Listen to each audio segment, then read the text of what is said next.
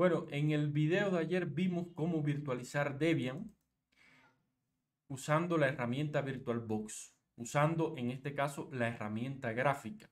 Esta herramienta gráfica nos permite realizar todas las operaciones sobre una máquina virtual de una manera sencilla, de una manera amigable. Y bueno, como habíamos visto en el video anterior al de ayer, podíamos hacer todas estas operaciones desde, desde la línea de comando, pero por supuesto eran un poquito más trabajosos. Bueno, entonces ya aquí tenemos una máquina eh, virtual con Debian instalado, Debian 11, y entonces vamos a loguearnos.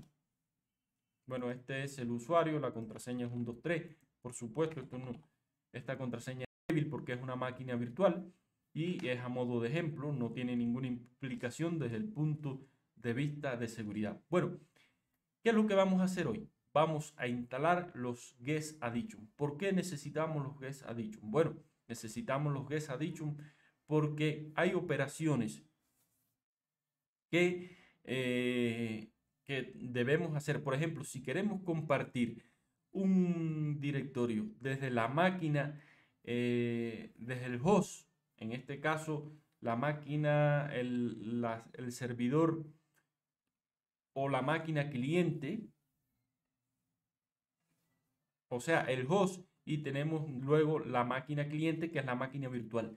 Si queremos compartir un directorio entre ambas, entonces necesitamos el guest addition. También, por ejemplo, esto que estamos viendo aquí, si queremos poner nuestra máquina virtual a tamaño completo, entonces vemos que no es posible porque no, no, no, no tenemos instalado los guest addition. Y esto es lo que vamos a hacer en el día de hoy. Para ello, lo primero que vamos a ir es aquí a Device y vamos a, hacer un insert guest addition cd image.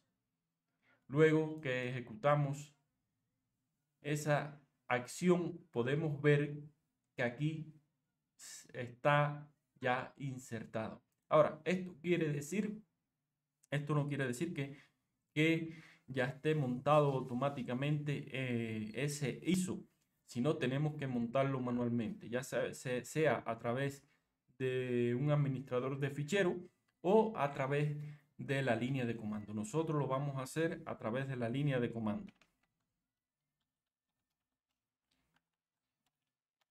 Y para poder montar debemos tener permisos de root. Ahora montamos esa partición que sería def, en realidad sería estaría en CD-ROOM. Vamos a decir que la opción es de solo lectura, read only, y lo vamos a montar en media CD room 0. Ahora nos movemos a esta dirección y hacemos un ls. Como pueden ver, ya eh, ese ISO lo, hemos, lo tenemos montado y ahora vamos a ejecutar este comando que está aquí.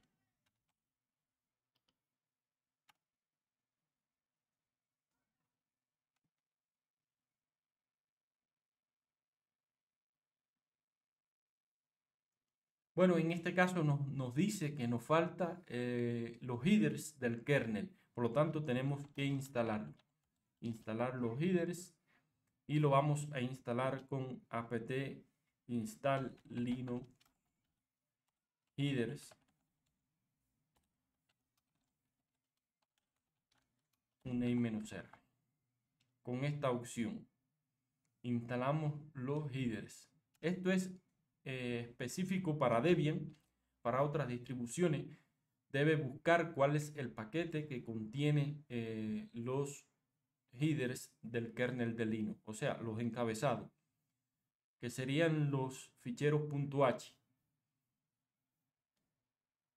Esperamos un ratico que se termine de instalar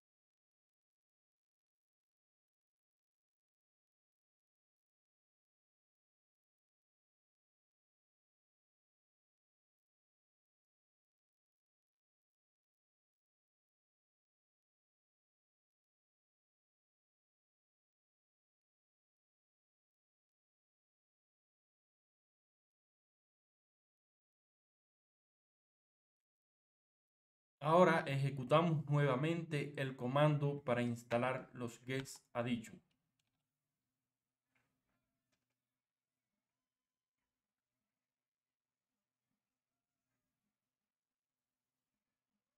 Bueno, en este caso nos está diciendo que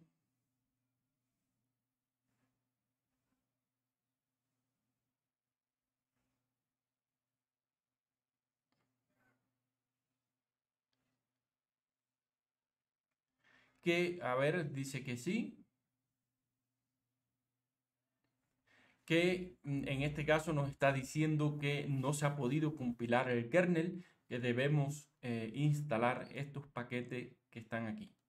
Por lo tanto, debemos instalar, como pueden observar, es una herramienta que nos va guiando. Entonces, instalamos estos paquetes. Esperemos que sea mucho más rápido que instalar los headers. Y ejecutamos otra vez el comando de instalar los pies ha dicho.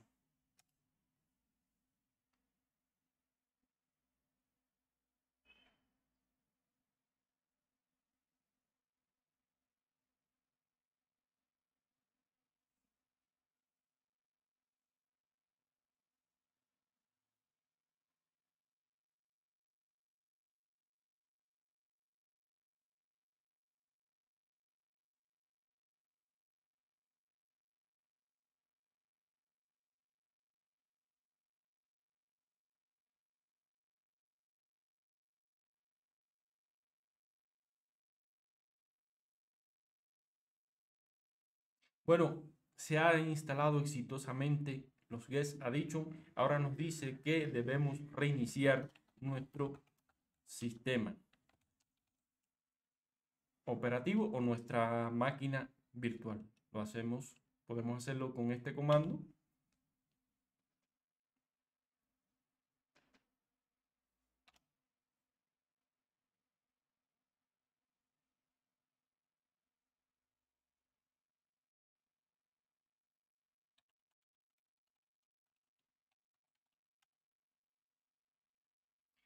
Y ahora vamos a probar lo de la pantalla completa.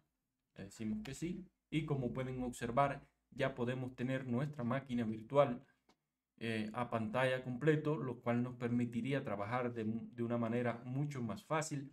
También ya podemos eh, compartir directorios entre el dispositivo eh, anfitrión y el dispositivo cliente. Y también podemos compartir lo que es el, el clipboard. Puede compartir lo, el clipboard entre el, anfitrión y el cliente, el cliente y el anfitrión, o puede ser bidireccional, debido a que hemos instalado ya estos guest ha dicho. Antes de terminar, decir que todos los videos de LibreBay están disponibles en la plataforma Library. Library es una plataforma basada en blockchains donde puede instalarse un cliente y desde allí, bueno, eh, ver todos los videos de LibreBuy sin anuncio, en fin. También en la descripción del video voy, voy a dejar el enlace al canal en Library. Voy a dejar el enlace de la historia del movimiento de software libre y voy a dejar el enlace a la entrada de mi blog de los 16 ejemplos prácticos de VirtualBox. Bueno, comunidad, esto es todo por hoy. Nos vemos en un próximo video para seguir hablando sobre tecnologías libres.